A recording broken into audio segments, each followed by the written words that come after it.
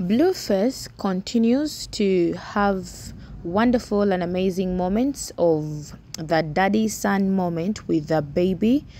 Um, you can see how really so loving they are sharing the daddy moment so it is really amazing to see that actually blueface it's is having a me time with the beloved son and people are really excited to see the bond that is going on between Blueface and the newborn baby that is their son.